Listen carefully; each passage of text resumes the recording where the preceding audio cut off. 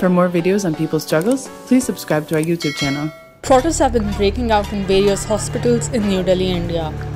Doctors of hospitals across the city are going on indefinite strikes because of unpaid salaries. Doctors of Rajan Babu Institute of Pulmonary Medicine and Tuberculosis, Asia's biggest lung specialty hospital, have been on strike since October 12th. They started the strike because their salaries have not been paid for the past four months. कि हम आज यहाँ इसलिए इकट्ठे हुए हैं कि हमारे hospital Rajan Babu TB hospital जो कि नॉर्थ एमसीडी के अंदर आता है, हम लोगों को लगभग तीन, चार महीने से सैलरी नहीं दी गई है। हमारी लास्ट सैलरी जून की आई थी। चार महीने से ना डॉक्टर्स, ना नर्सेस, ना ही सफ़ाई कर्मचारी, कोई भी हेल्थ वर्कर की सैलरी नहीं आई है।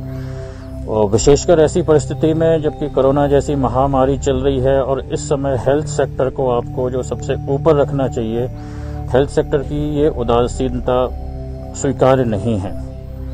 हम लोग अपना सब कुछ घर बार छोड़ के, अपनी फैमिली के रिस्क को भी नज़रअंदाज करके जब अपनी सुविधाएँ, अपनी सेवाएँ दे रहे हैं तो सरकार का भी फ़र्ज़ बनता है कि हमें कोई परेशानी ना आए। अगर ऐसे समय में आप, ऐसी महामारी के समय भी आप हमारे साथ ये व्यवहार करते हो तो ये चिंताजनक है। The indefinite strike by Resident Doctors Association, that is the RDA, of Hindu Rao Hospital demanding pending salaries entered the third day on 13th October.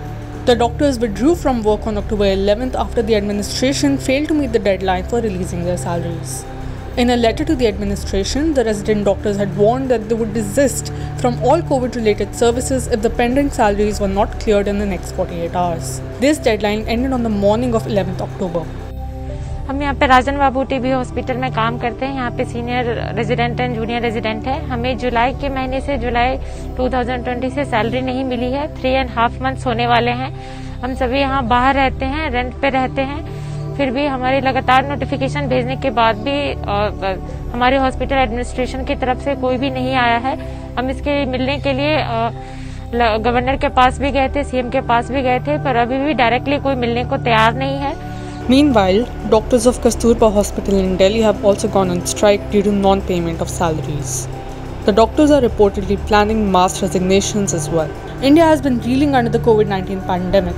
More than 7.3 million cases and 100,000 deaths have been reported so far. The far right Bharatiya Janata Party government under Narendra Modi has failed to take any concrete actions to stem the tide.